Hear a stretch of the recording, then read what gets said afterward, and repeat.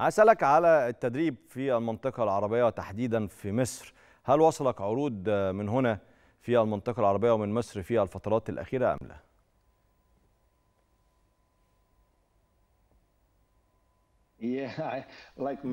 نعم. كما تعرف فأن فأنا كنت كنت أعمل كمدير فني في اتحاد جدة في السعودية. فبالتالي أنا كنت سعيد جدا في فترة الفترة التي قضيتها في المنطقة العربية. وأتت بعض العروض من إفريقيا وخصوصا في جنوب إفريقيا. ولكن كانت لأن هذا الوقت كان صعبا لي بالنسبة لي في الاتحاد. ولكن ولكن هو شرف كبير أن أتلقى عروض من المنطقة العربية خصوصا بعد المدة القصيرة التي قضيتها هناك. ولكن كرة القدم في هذه المنطقة هي تنال اهتمام كبير وتتطور بشكل كبير.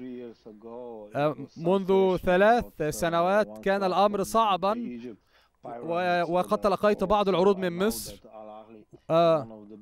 والآن أرى أن بعض الفرق في مصر خصوصا الأهلي أنا أعرف بعض المعلومات عن عن الأندية المصرية وأعرف بعض المعلومات عن المديرين الفنيين الذين عملوا في مصر وأنا أعرف أعرف أن مصر هي الدولة الأشهر من الناحية الرياضية في إفريقيا والمنطقة العربية. ربما تلقيت بعض العروض بعض الأندية التي ودت أن أن أعمل معها خلال الفترة الماضية. أندية ممكن نعرف مين هي الأندية دي تحديدا؟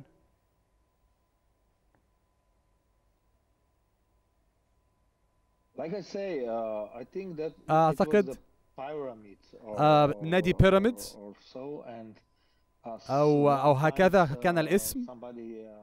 أحد الأشخاص وأحد الأشخاص أيضا كلمني وقال لي أنه يريد أن أن يقدم عرض من الأهلي والزمالك ولكن لم لم يكن الأمر أكثر من عرض من وكيل لاعبين. لم يكن الأمر مباشرا مع الأندية مع أي لجنة في الأندية.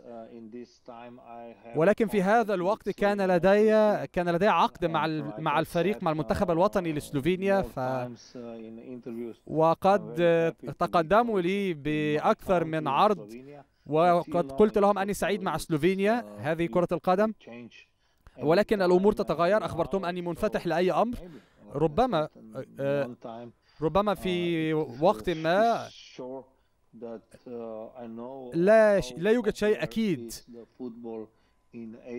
أنا أتمنى الأفضل لكرة القدم في مصر. اعرف أعرف أن أعرف أن الجودة ترتفع في مصر خصوصا ما رأيناه في آخر بطولات دوري أمم إفريقيا لمنتخب مصر وما قدمه في آخر نسختين.